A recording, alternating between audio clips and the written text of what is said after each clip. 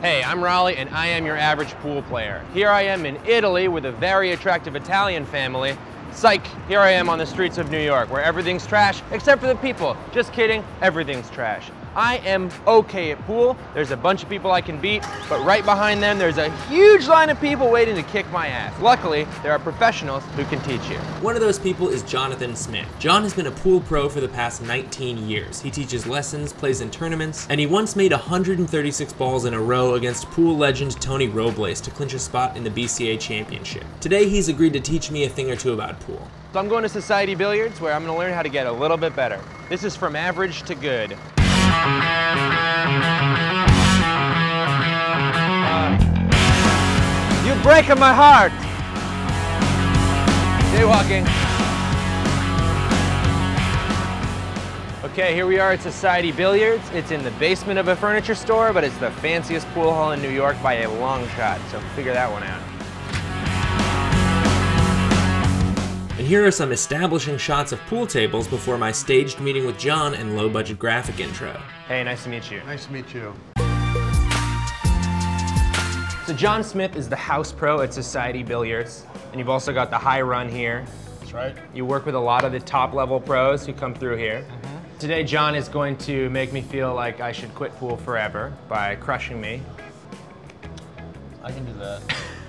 First, we'll play a few racks of nine balls so John can gauge my skill level. Will you let me break so that I get a shot in? Yes. That's really you nice. Need to use my break stick. Oh, thank you very much. You're welcome. So this is a break stick. Um, you can tell because of the way that it is a break stick.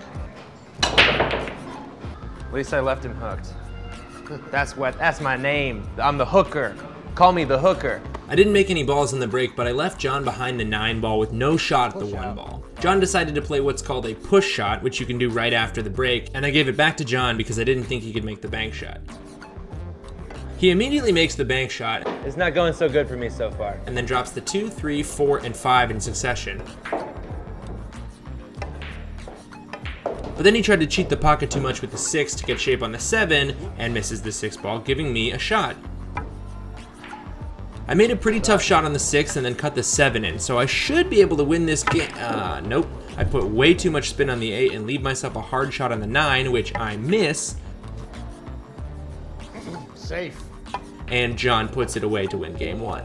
Game two, Jon lets me break again, and I make a ball, but can't see enough of the one ball to make it. So I go for a defensive shot and try to leave the one right behind the nine. I hit it too hard, but there are a lot of balls to get behind, and I give Jon a tough leave. He misses the one by about a millimeter, giving me ball in hand. So I make the one, the two, Get up. Giddy up. Come on. Come on. Come on. Come on. Get legs. Let's do it. Oh. the three, and the five. But on the six ball, for no reason at all, I decide at the very last second I want to play another safety and try to leave the cue ball behind the seven, Oh, I tried to play a safety and I fucking blew it. Turn the camera off, Andy. That's something you should never do against a pro, and he drained the 6, 7, 8, and 9 to win game 2. Oh, picture perfect. Game 3, Jon makes the 8 on the break, hits the 1 and the 2 with backspin, cuts the 3 and the 4 down the rails, hammers the 5 in, cuts the 6 all the way down, drops the 7 in to float perfectly around the 9, and drains it to win game 3 without letting me even pick up my cue. So, Jon, give it to me straight. Am I the greatest player of all time? No. Okay. Well, maybe I phrased that question wrong. Am I the best player you've ever seen in your life? No. Okay. You need to review your pattern play. Okay. Thinking about the next three balls. Okay. Because you still haven't learned that. Okay. Um, you need to reevaluate your feet Feet. Okay. because your heel comes up an awful lot when it should be staying flat on the ground. Oh, okay. and that adds to a little bit of instability. Um, and your pre-shot routine is non-existent. Non-existent. Okay. I Non-existent. I thought I had a good pre-shot routine. It's non-existent. No, it's inconsistent all the time. Oof. Okay.